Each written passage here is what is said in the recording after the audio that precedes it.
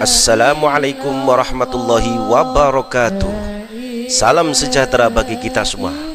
Pemirsa berjumpa kembali dengan channel kebanggaan kita Rumah Hikmah Menggali hikmah, menebar rahmah. Pemirsa Rumah Hikmah Sejak masuk dan berkembangnya Islam di Indonesia Memerlukan proses yang sangat panjang dan melalui saluran-saluran dakwah Islam yang beragam. Seperti perdagangan, perkawinan, tarikat atau tasawuf, pendidikan dan kesenian. Saluran dakwah tersebut tentu bukan suatu kebetulan, bersifat situasional atau sekedar iseng saja, tetapi tentunya sebuah skenario cerdas dalam membuat strategi dakwah. Berikut ini ragam cara masuknya dakwah Islam kepada masyarakat Nusantara yang dihimpun oleh channel Rumah Hikmah. Tapi sebelum kita lanjut, bagi yang belum subscribe, silahkan tekan tombol subscribe dan tombol lonceng agar Anda tidak ketinggalan informasi dari channel favorit kita ini.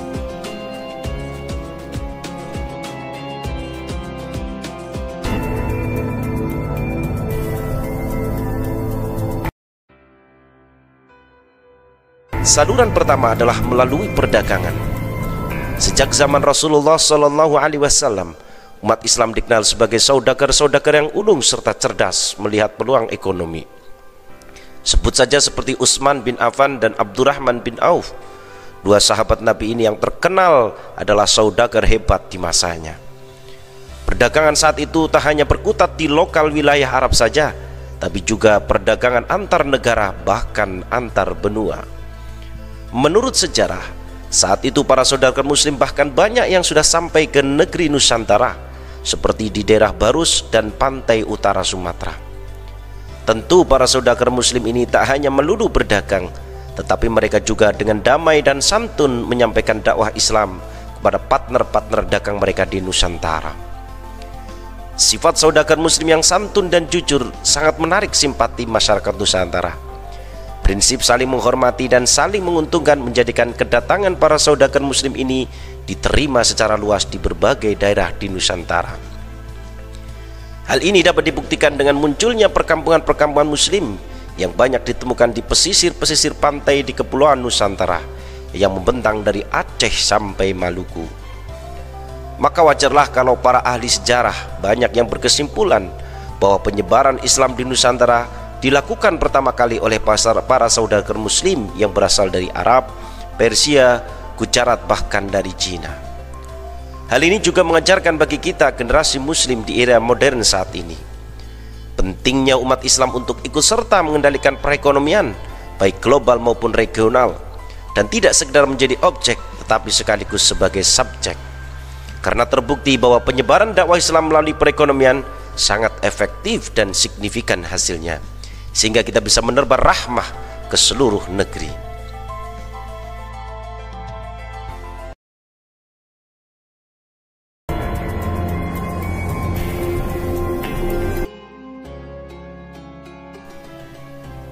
Saluran kedua adalah melalui pernikahan. Pernikahan adalah salah satu bentuk interaksi paling intens antara pendatang Islam dengan penduduk lokal Nusantara. Para pendatang muslim yang umumnya berprofesi sebagai saudagar banyak tinggal di Nusantara dan kemudian menikah penduduk pribumi. Dan tentunya pernikahan itu terlaksana setelah calon istri memeluk Islam. Karena dalam Islam, nikah beda agama tidak diperkenankan. Dengan pernikahan ala Islami ini, tentu akan mendorong pengenalan ajaran Islam kepada keluarga mempelai perempuan.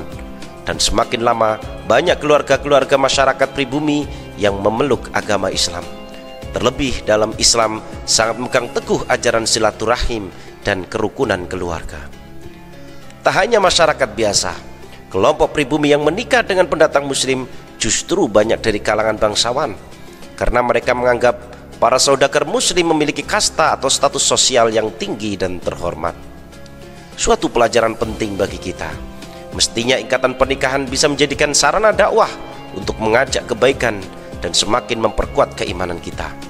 Jangan sampai ikatan pernikahan justru menyebabkan kita keluar dari Islam dan menjual keimanan kita. Na'udzubillah min dzalik.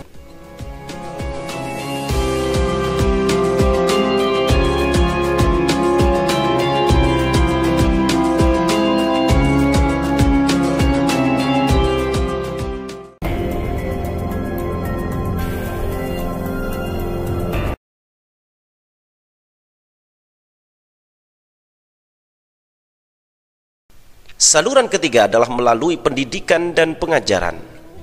Kalau ada pertanyaan saluran apa yang paling efektif dalam mengenalkan dan menanamkan Islam kepada masyarakat Nusantara?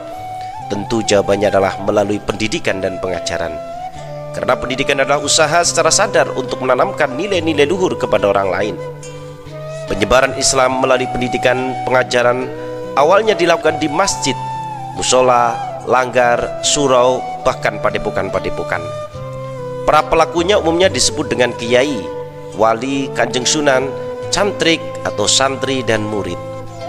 Bahkan penyebaran Islam melalui pendidikan ini telah melahirkan lembaga pendidikan tertua dan menjadi ciri khas Nusantara yaitu pondok pesantren.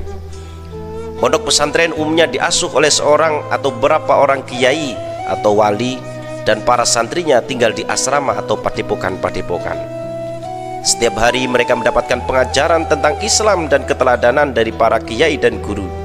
Sehingga wajarlah para alumni pesantren ini banyak yang menjadi juru dakwah di daerah-daerah di Nusantara. Seperti para santrinya Sunan Ampel yang banyak berdakwah di Maluku dan Sulawesi Santrinya Sunan Giri banyak berdakwah di daerah Nusa Tenggara dan Bali. Demikian juga para murid dari Sunan Kalijaga yang berdakwah di berbagai pelosok di Pulau Jawa. Saat ini Nusantara memiliki ribuan pondok pesantren dengan berbagai karakter dan ciri khasnya. Telah banyak bersasa dalam mencerdaskan dan memajukan anak bangsa. Sepantasnya kita turut berbangga dan melestarikan kekhasan model pendidikan di Nusantara.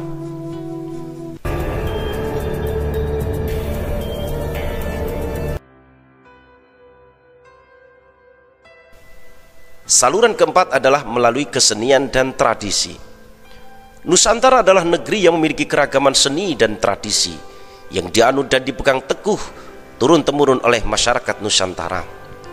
Penyebaran Islam melalui seni dan tradisi dilakukan dengan memasukkan ajaran Islam di dalam seni dan tradisi yang sudah berkembang di masyarakat.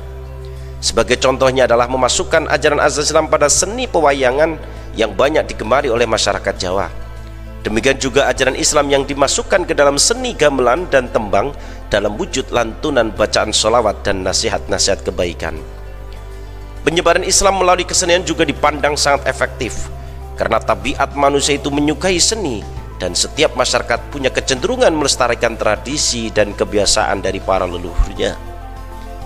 Dengan memasukkan ajaran-ajaran Islam ke dalam tradisi dan seni, tentu juga turut serta dalam lebih mengenalkan Islam dan pembentukan karakter masyarakat. Selain itu, penyebaran Islam melalui seni juga mendorong munculnya kreativitas seni seperti lahirnya seni hadroh, tarian saman, seni lukis dan kaligrafi serta seni bangunan.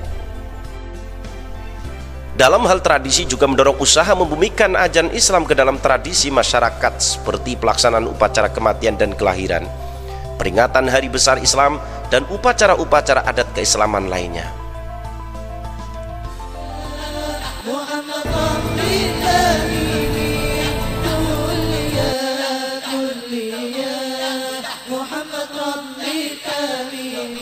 Saluran kelima adalah melalui tasawuf. Tasawuf adalah salah satu dari tiga sendi ajaran Islam. Selain tauhid, syariat, yang ketiga adalah akhlak atau tasawuf. Tasawuf adalah usaha sadar untuk menghilangkan sifat-sifat buruk dalam diri manusia dan menghiasinya dengan akhlak-akhlak yang terpuji. Biasanya laku tasawuf dilakukan dengan memperbanyak zikir, menyendiri dari pergaulan yang rusak dan mengendalikan hawa nafsu. Sebelum ajaran tasawuf berkembang luas, masyarakat Nusantara juga sudah mengenal laku-laku mistik seperti dengan tapa berata atau menyendiri, semedi dan perenungan alam agar terhindar dari perilaku buruk dan sifat-sifat keduniawiaan. Adanya kemiripan antara ajaran tasawuf dengan ajaran yang berkembang di sebagian masyarakat Nusantara menjadikan Islam menjadikan ajaran Islam ini juga dengan mudah bisa diterima oleh kalangan masyarakat pola penyebaran tasawuf saat ini banyak ditempuh oleh para penganut torikoh seperti torikoh Qadiriyah wa Naqsabandiyah, torikoh Syadiliyah, torikoh Syatariyah, dan puluhan torikoh-torikoh lainnya. Para pengamal ajaran torikoh di Nusantara juga jumlahnya jutaan dan telah banyak berjasa dalam membentuk karakter masyarakat Nusantara yang religius sekaligus toleran.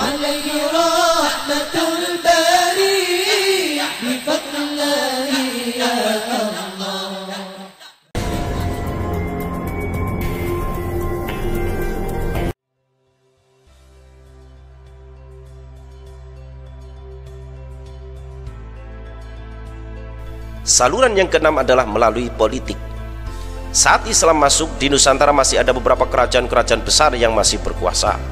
Seperti Kerajaan Sriwijaya di Palembang, Kerajaan Majapahit di Jawa Timur, Kerajaan Pajajaran di Jawa Barat, Kerajaan Goa di Sulawesi dan kerajaan-kerajaan lainnya.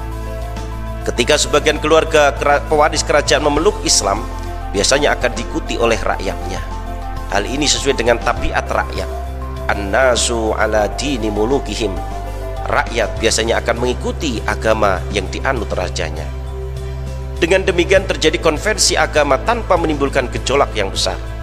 Seperti yang terjadi di kerajaan Majapahit ketika Raden Fatah yang masih keturunan Raja Majapahit memeluk Islam, maka sebagian rakyat Majapahit ada yang mengikuti jejaknya. Demikian juga yang terjadi di kerajaan Goa dan di kerajaan Ternate dan Tiduri. Penyebaran Islam melalui politik tidak dimaknai dengan pemaksaan kekuasaan politik atau kerajaan terhadap rakyatnya. Karena pemaksaan keyakinan dan kepercayaan dalam Islam adalah dilarang. La ikroha fiddin, tidak ada pemaksaan dalam memeluk agama.